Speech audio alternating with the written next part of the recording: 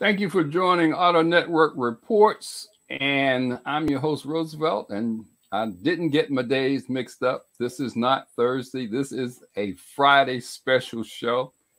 I think that you will enjoy our very, very special guest. And to help me along through through this special show, Greg Morrison, Bumper to Bumper TV in Atlanta decided to do a double duty. He did one yesterday. Now we're doing another one today. Frank's been off for about five or six weeks, but he decided to do this one Frank Washington about that car.com hanging out in Detroit. And our very special guest is Miss Mia Phillips, the senior manager, advertising and media. I'm gonna have to find out what that media is all about at, at Lexus. And what we're going to do today is talk a little bit about product placement and as you all know, electric vehicles now are getting all the the ink, getting all the video, and getting just about consuming all the space when it comes to talking about automobiles. And Lexus has placed a vehicle in the upcoming Black Panther movie, Wakanda Forever. And Mia, Talk a little bit about how you went from washing cars to Toyota executives to wanting to be a doctor, and now you are the senior manager of advertising and media at Lexus. Talk a little bit about that journey. It's it has been quite the journey. um, yeah, I started off literally. I, I, I like to to quote Drake, started from the bottom, now I'm here. Um, literally started at uh, Toyota when I was working for a temp agency, just looking for a way to make a lot of money in the summer so that I could uh, then in the fall go back to college and and hold on to some money and have some money for the the duration of uh, the the college school year and I, the temp agency placed me with Toyota at the time. That was 32 years ago. It's, uh, time has flown uh, tremendously, but 32 you wore, years you wore those years very well. Well, th- I, I appreciate that. I started when I was seven. Oh, okay. as far as any of you know. Okay. and it's just it, it really has been a great journey. I um, I came up as a, a a girl who was very much into cars. I, I went into the car industry because I love cars.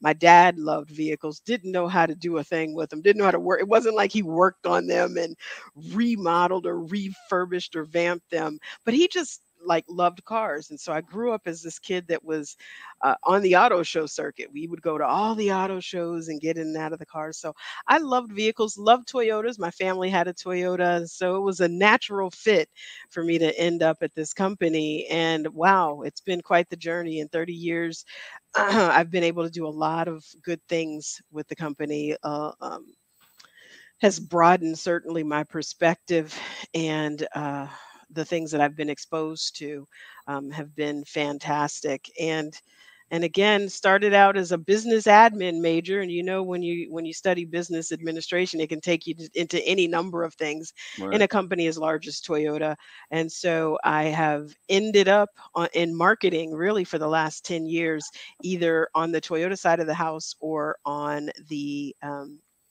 uh, lexus side of the house so it's been it's been great let me let me ask you a quick question about product placement. And in this upcoming movie and in the previous movie, you had a Lexus product.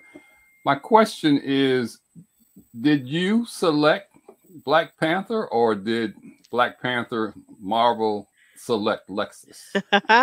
Marvel always makes the selection. So we we were fan uh, we we we're excited when our agency of record, um, they were our agency of record at the time, and they're still our agency of record for Black, Hispanic, and LGBTQ plus audiences. Walton Isaacson, uh, back with the first Black Panther, brought the opportunity to Lexus. And at that time, my predecessor uh, was the one who really signed on with the first Black Panther opportunity. I think everyone saw how tremendously and wildly successful the first Black Panther was with audiences, and that Lexus's engagement in Black Panther also was very successful, and people enjoyed kind of the energy that Lexus brought as a new brand to the Marvel franchise, um, and certainly new for Black Panther. At the time, I don't think anybody understood how impactful that movie would be, um, not only on society as a whole, but also in terms of being one of the largest grossing films in the Marvel franchise.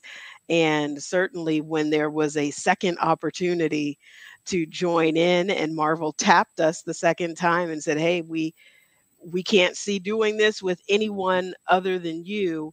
We certainly were on board. Uh, when you think about Black Panther, you think about technology, innovation, future forward thinking, uh, elegance, power, all of the things that we like to align with our brand ethos are also values for them and certainly uh, themes that are ever present in the film. Well, I have a ton of questions for you, but I'm not going to uh, hog the show, so to speak. So I'll let either Greg or Frank start asking their questions. Go ahead, guys. One of you. First of all, it's a joy to meet you. Um, when these kind of opportunities come up, and someone like Marvel says, "Hey, we're doing this film, Black Panther, it's part of the Marvel series," what is the thinking on the Lexus side as to how to decide which vehicle to offer for the uh, project? And can you sort of take us through some of the behind-the-scenes steps as to how it gets from idea to execution? And did you learn anything different in the process? Yeah, great questions, and it's great to meet you as well, Greg. So we do think uh, we we think very strategically about what we're going to bring to market at the time. I think a lot of it has to do with timing. Um, certainly, we'd like to we'd like to use these big opportunities to bring something new, one of our prod a newer products to the lineup to market so that people get a chance to feel it, see it, experience it in a way that's very different than traditional advertising methods allow. Uh, for this particular film, it was ideal that we were introducing our first battery electric vehicle around the same time as the film was was coming out uh, we're going to be released in theaters. What was less than ideal which i think is to answer your second question um, what was less than ideal was that the vehicle itself wasn't in a place when they first when marvel st- first started shooting black panther uh, over uh, almost a year ago now the vehicle itself wasn't ready to be shown in the film. So ideally we would have liked to have had the rz placed in the film but we only had a shell of a vehicle. We had a prototype with no interior and they wanted a drive up moment so that couldn't work.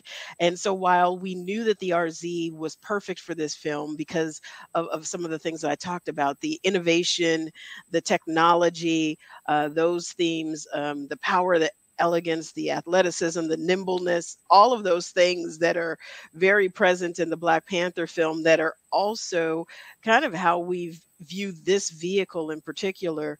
We we wanted it to be a full integration but couldn't leverage it for the film. So we leveraged two other vehicles. We pivoted and leveraged two other vehicles in the film.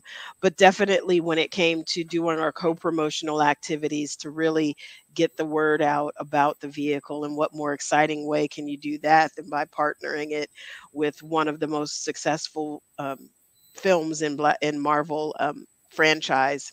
We, we saw using the RZ for the co promotional activities as a no brainer. Great, Frank. Let me ask a real basic question. When does the movie come out? Because see, I don't know. yeah, I love it, Frank. So the movie will be released in theaters on November 11th, Friday, November 11th, and so everybody go out and see it when it's released. Uh, they had the red carpet premiere for all of the uh, Marvel executives and the stars and celebrities. That just actually took place here on Wednesday, and uh, my my understanding is that it was extremely successful. Unfortunately, I wasn't there to be in Hollywood for all the glitz and glamour. I think I was in Philly that day. Uh, we were having some important dealer meetings, and so I was out with our dealers in Philly on that day. When well, Mia, this, go, you, go ahead, Greg. I'm sorry. When you're doing these kind of things, like okay, you've got this tie into a movie, and you're also talking to dealers do the dealers want to sign on or be part of the process, or are they saying, well, what does it mean for me, and what is it going to do for me in terms of bringing eyeballs into this into my showroom to look at vehicles? Yeah, I think you know, I'm sure that the first time that we talked about uh, looking at our go-to-market strategy for um, at the time i think it was the lc it was the lc 500 that we were bringing to market during the first black panther. And as the team starts selling that down the channel we don't necessarily need to uh, we spend our national dollars and not our our tier two level or our dealership dollars to support these efforts. But certainly um, selling them on the fact that these product integrations are a different way to connect and engage with consumers. And as we're trying to definitely engage and connect with those younger, diverse consumers, the traditional television commercial or banner advertisement isn't necessarily going to get us the same emotional traction with those consumers that seeing the brand in a different way will. So I think we've done enough of these at this point to where it would no one questioned when when we said we were going in on the second Black Panther, there were no questions there. We've had tremendous amount of success bringing uh, attention, engagement, and love for the brand through previous um, film integrations and product integrations that uh, this you know this go round there was no question. It was just applause. For me i i always enjoy talking to somebody in advertising that has actually worked or been in an auto dealership and had an opportunity to spend time with customers which is part of your background it is that's that's one of the the big reasons I want to have you on is because of that that experience. And I have found in talking to ad agencies, a lot of times they have no clue as to what the consumer thinks about not just the dealership, but the product itself. And this is a, a black movie. So let's talk about black advertising. I know a part of your your title is media. What black media have you all um, gone after or will be advertising with for the promotion of the show and this new product of yours? Yeah, so we we certainly leverage a a, a lot of um, black media partners um, as we are bringing a th- this this video and, and film and integration to market as well as others uh, in, in, the market right now we also have our rx campaign um, and we're partnering with a lot of people on that too. But for certain you know I, I think when you think about broadcast which is still the very best way to get broad reach and awareness of, of marketing activities we're we're talking BET and TV One and OWN and um, those channels for certain. Um, when we're looking at at magazine partners, we have several magazine, you know, Black magazine partners as well. Uh, we're looking at uh, doing some sort of custom type integrations. Um, you know, partners like rolling out. Uh, media which is a black owned media in atlanta right. um, yeah we we so we have several partners with who we engage and a lot of those are kind of perennial partners partners that we engage with regardless of the activity and then we try to make certain that if there are uh, partners that may not be a fit for one vehicle, but may be a fit for another or an overarching brand activity, that we do bring in new partners. Um, not only are we dedicated to ensuring that we're engaging in uh, with with multicultural partners, uh, Black, Hispanic, Asian, LGBTQ, but also that we're spending money with Black owned media, which is different than just black targeted media partners Right. Well, we provide, and this show will be on blackpressusa.com, which is, I don't know whether you're familiar with them or not, but that's the largest digital agency for African American newspapers. Has that name crossed your path as place for consideration for advertising? Um, I have heard of the organization before Okay. for certain. I don't know, but I'll make sure to check with our with our agency, Walton Isaacson, who um, does the engagements uh, with the media. I'll make sure to to talk to to, to them av- as soon as we're done with this call. Okay. Greg, you were going to say something? Yeah, yeah, yeah. One of the things that I find fascinating is I have friends who are filmmakers, and one of the things that's great. How do I get in front of one of the automakers to get them to do product placement, or any brand to get product placement, you know, to help support my film effort? And I tell them it's it's a complex series of uh, dances. You know, you get to show what you're doing, who's coming after it. How often do you guys get approached by someone and say, "Hey, I've got a product that I'd love to have you know you guys be part of a product, do some product placement within." How do you handle those inquiries when they come in?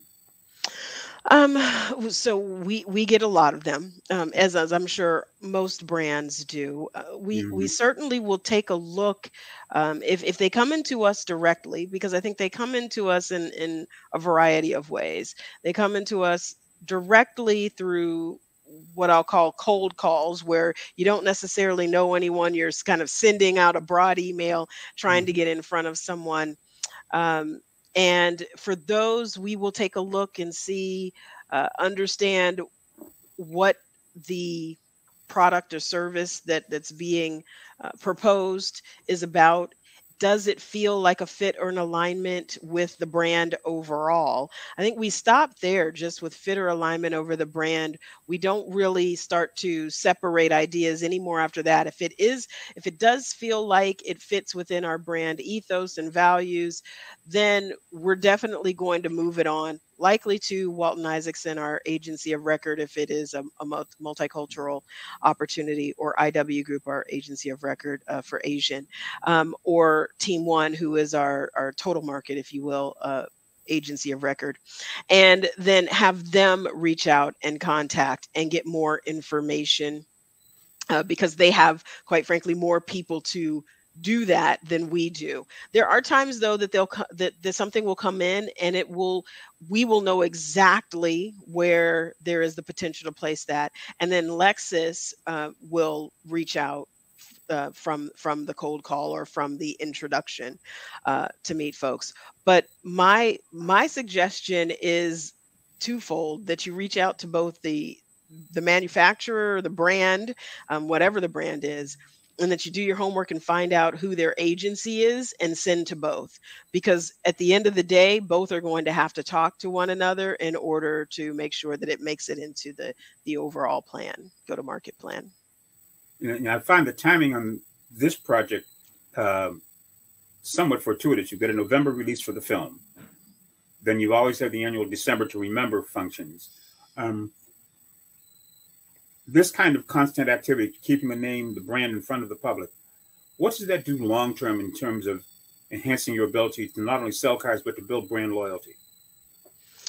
I, think it does a lot. Um, you know, we obviously want to retain our loyal consumers, uh, but really our goal as well is to to reach out and and gra- grab the hearts and the minds of consumers with whom we don't currently have a relationship.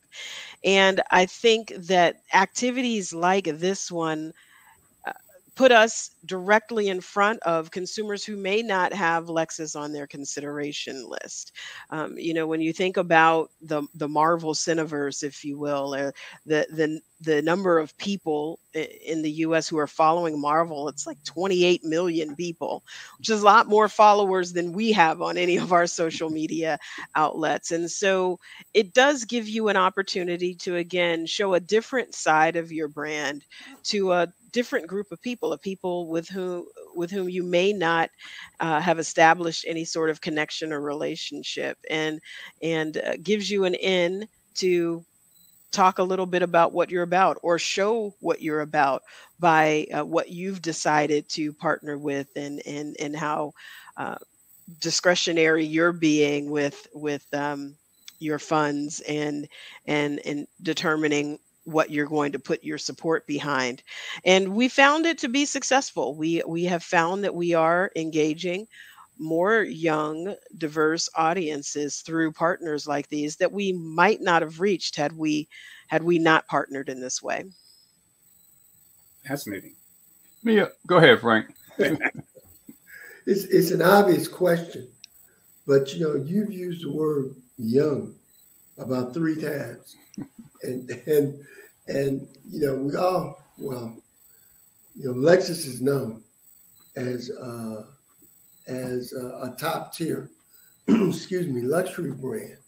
But you know the bottom line of it is is that luxury brands are for older folks not necessarily in the you know not people who want put in the grave but people who have arrived people who can afford these things.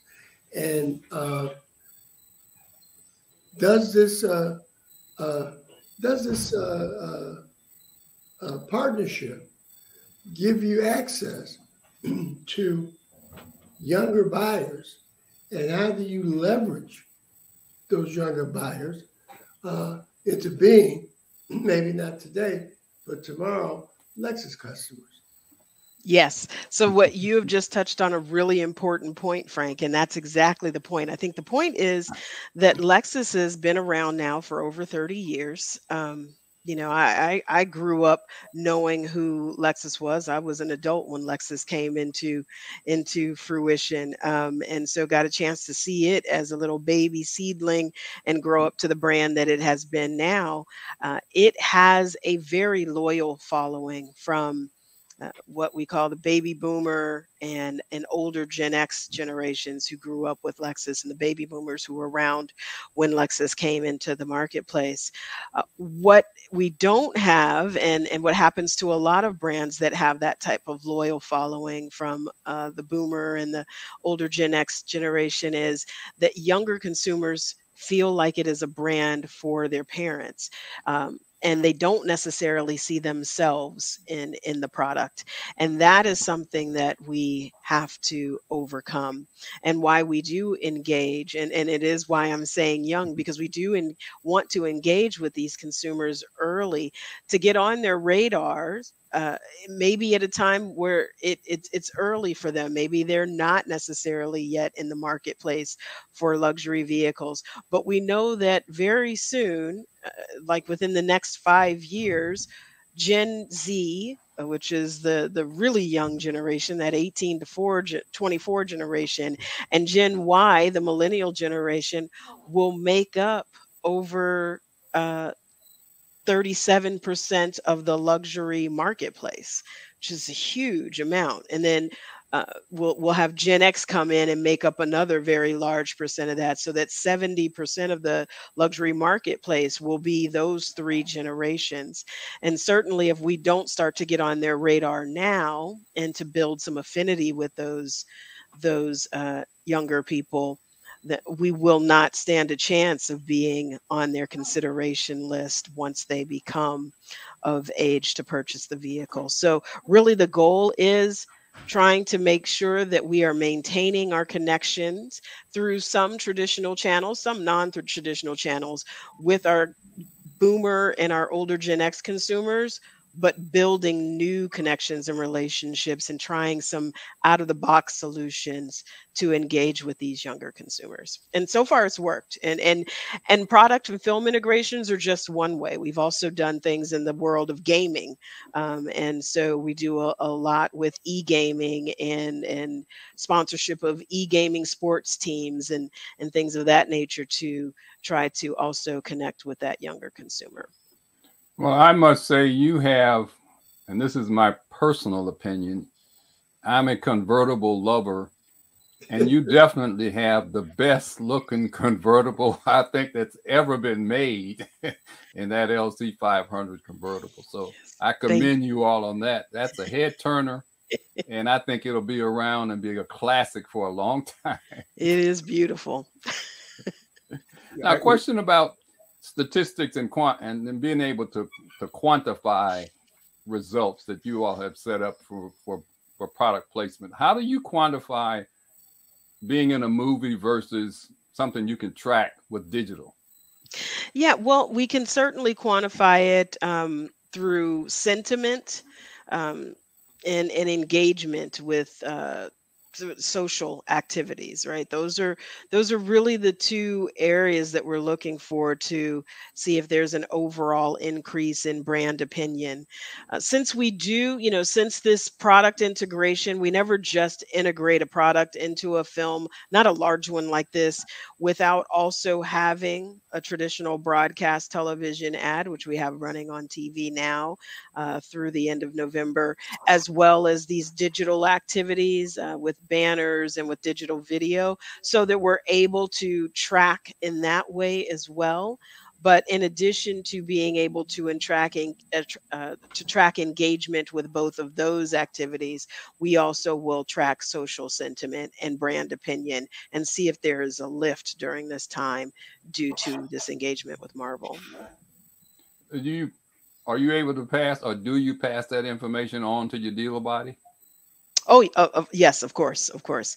We do share uh, how all of our activities perform because let's face it our dealer body um, a, a lot of times they're not necessarily the audience that we are uh, trying to attract with with this with these engagements.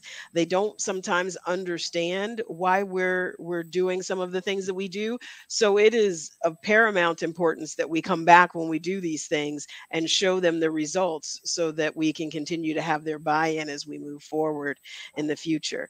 And and they're beginning to trust us. They're beginning to trust us. I was in a meeting in dc yesterday and they questioned me on a couple of of, of uh, not related to black panther but a couple of our other campaigns that uh, recently passed and said hey we didn't think that it was going to work but it worked right? So we're so it's it's nice when you're able to back up because uh, i know that sometimes we look like we're going off the deep end with some of our activities but again we to appeal to uh, audiences and break through the clutter. There's just a lot of clutter in media right now.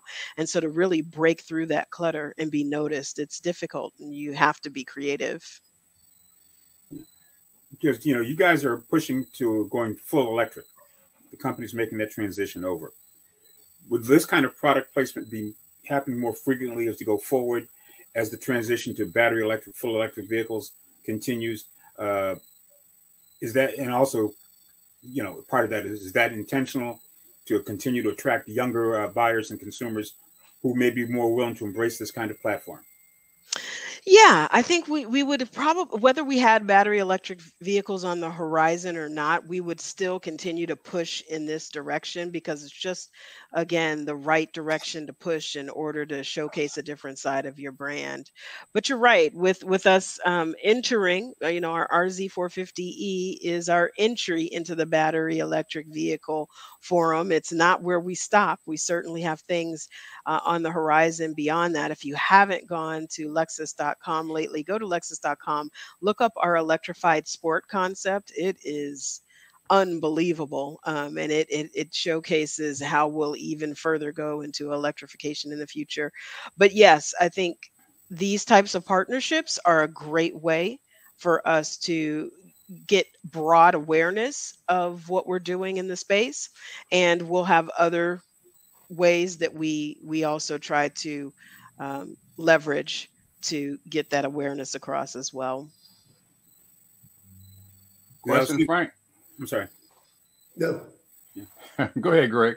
Yeah the other thing i'm i'm fascinated by product placement because i would imagine you guys get like you said a lot of inquiries. Uh, what's the most unique product placement proposal you've heard uh, in your time in this position? Oh, unique. Well, we just had I, I I can't really talk about it because we're still in the in the middle of it, Greg. But let's chat in about 4 months because we have a very unique. I think uh, leading up to leading up to now though, it really was uh, we just partnered last year in a movie or actually at the beginning of this year. Time is flying. In January, in a movie called Moonfall that starred Halle Berry and yeah, I saw it the other day on a flight. Yes, yes. So it, it was um it was unique in that the the director was very much he I'll be honest with you he Lexus was not his first choice for this partnership and we sold him on the brand actually our friends at Lionsgate said hey we think that they would be a great brand for you to partner with based on you know they're the team that did black panther you know everybody points to that first black panther as being our our, our bar for success. And and he had another brand in mind and we came in and we talked to him about our new vehicle and how we felt like it was a great fit at that time. It was the nx for for the film we understood what the film was about and what he was trying to do and get in the messaging he was trying to get across and i think from a unique standpoint it a lot of people refer to that movie as it was a big Lexus commercial, which I find hysterical because we're not in it that much, but we're in it at such impactful moments. Like a, a big impactful scene oh, takes place in a dealership. Yeah, across, the, the cliff. And one of the the actors, Michael Pena, is a Lexus dealer. He's an owner, um, yeah. and they show his Lexus dealership. So that was really unique because there was Lexus branding outside of just the vehicle itself and and we took you know we we made one of the characters was written to be a dealership owner always um, it just was that that the director didn't have Lexus in mind, but we were able we were able to swing him from the partner that he was considering. So that was that was unique and and and fulfilling.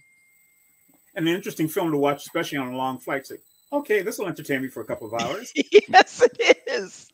Yes, it is. Good fantasy watching. Mia, I'm I'm sure you have heard as well as everybody else on the news where you have a lot of major corporations and some car companies that have made missteps in in advertising and in in the climate in the United States right now is everything that you say or do is highly scrutinized and can be misconstrued as being a racist comment or statement. And we always hear, well, if there would have been an African American in the room, that wouldn't have happened. You're in the room. Do you have you seen some things that may have gone out that you say, whoa, back up. Let's let's let's take a yeah, look at this again. That's great. Yeah, no, I am in the room. Thank God for that. Um I, I think you know I have not. I can honestly say that I haven't seen anything that's been so egregious that we would have gotten into serious trouble as a brand or would have been troubling uh, to a large group of people. That I will give our agencies credit for, that uh, they have not brought in my three year tenure with Lexus and actually with my uh, long tenure over on the Toyota side, I was never brought anything that that made me feel like this is egregious and we're going to get in serious trouble. Where I think that I've been able to be of value to the team, and not only me, but uh, the team that I have is a is a very multicultural team. It's an equal balance of men and women, LGBTQ. So we're looking at things from all angles, and I think the value of that is that we're able to talk about whether something feels authentic to the group. And I always say, hey, I'm speaking to you as Black person party of one. I can't speak for the entire, you know, the entire 16 million of us, but I can speak as black part person party of one. And this doesn't feel like it's really authentic to the way that this particular situation would would go down or or the way that this person is is talking or the reaction. Um, and and my team does the same thing coming from the lens that they have. And we also at this point have all been around the brand long enough to know that it doesn't it, it may be authentic to that audience but it's not authentic to the brand. So i think having though that insight from both of those sides does help us uh, be more successful in the long run and and certainly it's hard i mean it, you know even with even with people taking the time and being meticulous and going through things um, over and over again and trying to look at it from all angles it, it is very difficult as a brand right now as you say because someone you're going to offend someone. The goal is that you catch something that's so big that it's going to offend a lots of someone's and not just you know one person here or there. So, any final questions? Go ahead, Greg. For you. It actually comes off of our from our one of our viewers, uh, from Lyndon Conrad Bell. Bell. Oh, Lyndon. and he says in the previous film the emphasis was on performance cars. Uh, he says, but since that is diminished, uh, let me finish reading this. That aspect of the product portfolio has diminished somewhat since the original film. How is this reflected in the upcoming film? Yeah, so um, the perform. I will say that the, in this current film, Lexus will not be represented in the way that we were in the first film. Um, I, I, I, can't give anything away about the film, but um, but I can say, you know, you know from uh, you know having a, a GX in the film that it's not going to be racing it's through the streets and speeding around corners um, it's not that type of vehicle um, we do have the lc convertible in the film and it is one that could race through the streets and race around corners but it's not doing that either. So it's not that we we don't have the portfolio certainly we have the lc we have the rcf we have we have the vehicles to be able to do that um, if that was the direction we were going but that's not the direction that we that we went in in this particular film. Well, we're looking forward to it, to say the least. November 11th. Frank. November 11th. Final question. No, you done? Yeah, Mia, I, I find that the auto industry right now is probably in some of the most exciting times that it's ever been in from COVID with the chip situation and with the shortage of inventory everybody seems to be making a whole lot of money.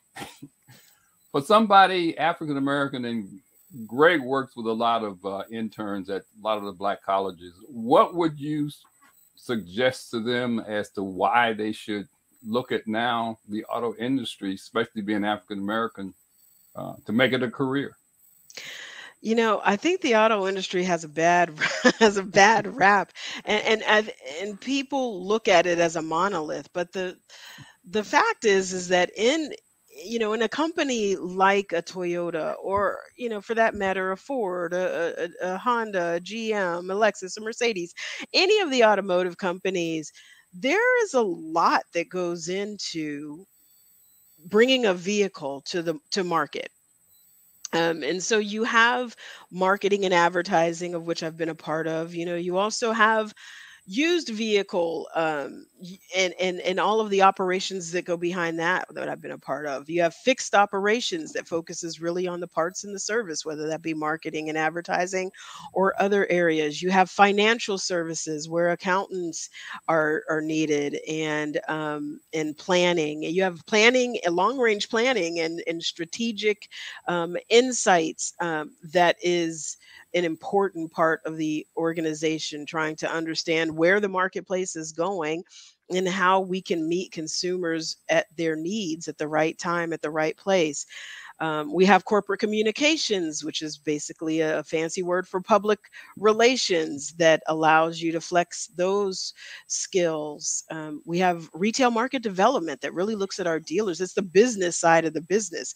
You're looking at uh, dealers, you're looking at financial statements, you're looking at business structures. Um, so there are so many different avenues. I mean, and then we have, you know, obviously human resources. We have uh, philanthropy, we have uh, community relations, so many different avenues to pursue within one organization. And I've been with this organization, as I said earlier, 32 years. I think in that 32 years, I had I've lost count, but it's been 17 different jobs in 32 years. And so I've had a chance to move around and see a lot, a lot of different parts of the organization, and it's kept things fresh. It's one of the reasons why I've continued to be here for 32 years because I've been able to do so many different things and flex my skills and knowledge and learn new skills and learn about new um, avenues and directions in one company and that's that's the benefit really of working for an automotive organization. You're not put in a box um, you're not held to just being part of one discipline.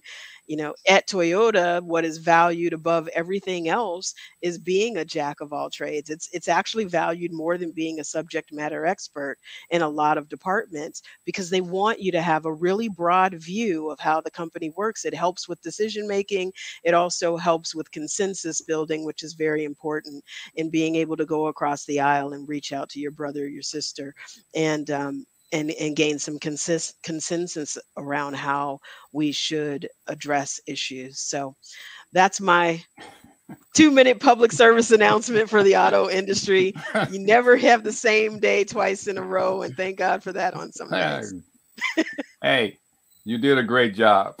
thank you. Thank you. I really want to thank you, Mia, for taking the time. I think we had some great some great information here for people to uh, follow up on and to listen to two and three times. Uh, I want you to please thank Ingrid for making all of this happen behind the scenes, as they say, to, to schedule the time with you to be here. Tell all the folk at Lexus, especially Mr. Jack Hollis, I said hi with his most energetic self. the, the Energizer Bunny of Lexus. He is the Energizer Bunny. That is for certain. But I want to thank all of you who are watching the live presentation. I want to thank those who are watching on demand, as well as those who may be listening to the uh, podcast that's coming up. And as always, please buckle up, don't drink and drive. Buckle up, don't text and drive. And as Frank says, buckle up, don't stream and drive. See you next time. Thanks very much, Mia. Please, Thank you. Thanks it. for having me, gentlemen. Have a safe weekend, guys. Bye bye. Bye bye.